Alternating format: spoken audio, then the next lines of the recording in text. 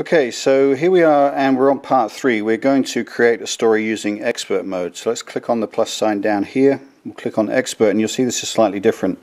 Um, so enter the story title. Again, we'll call it the zoo. Now we're creating this in the main folder section, not under the uh, sample stories, and I'll show you what that's what I mean by that in a second. Uh, voice, we will um, put it on Ryan this time and transition let's do um, reveal. And about you can fill in information the author copyright if you want to get into that um, sort of thing. So pages now you'll click on the plus you'll add a picture. Uh, zoo so let's pick one of these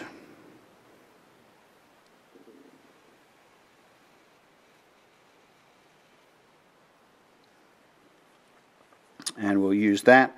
Uh, top label, bottom label, speak, both labels, voice, default voice, uh, and so on. So you've got the record here, the text here, and none here. So it's kind of all in one page. Uh, everything is on here. So top label uh, will say um,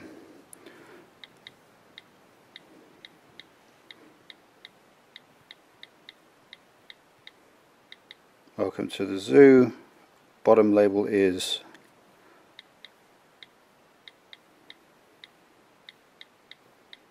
loads of fun. Uh, we'll leave that text. We will read both labels. Um, if you click on this, you can speak both labels, speak the top label, speak the bottom label, or speak custom text. And we'll do one of those in a little bit and I'll show you how that works. Uh, the voice is the default voice and you can preview um, preview the page and the sound if you want to. We're just going to click done and um, so what we've got here is welcome to the zoo. So we've actually created our first page here. Now if we go to create the picture of the zoo, uh, let's just use one of these.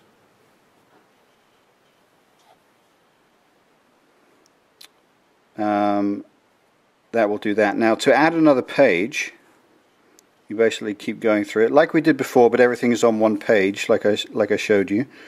And um, let's go down to the piggies. And we'll piggy.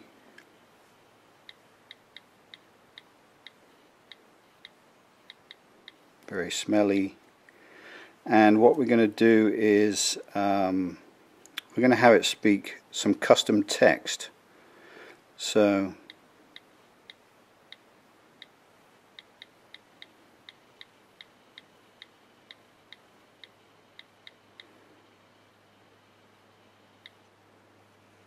go back from that. So that's going to speak the custom text in the default voice. We'll change that over to Heather. Go back out and we can preview.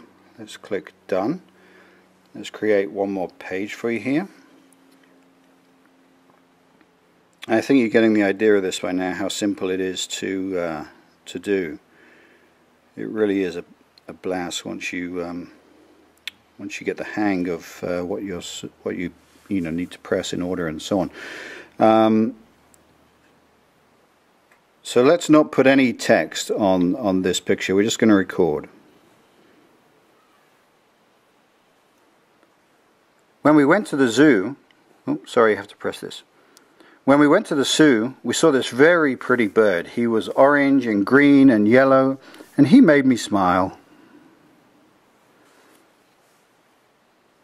Okay, click done.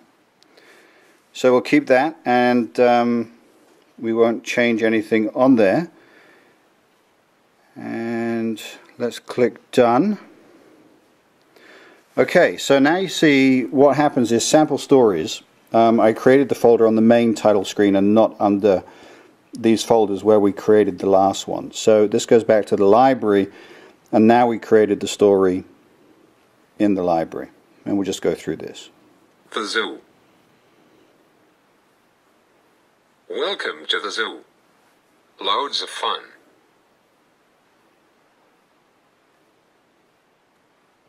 They were very dirty. So that was the custom text and nothing to do with what was on the screen. They were very dirty. And this one will be my voice with no text on the screen whatsoever. When we went to the zoo, we saw this very pretty bird. He was orange and green and yellow, and he made me smile. And that's it. And obviously, you continue to go through that, read the story again back to the library. So we'll go back out.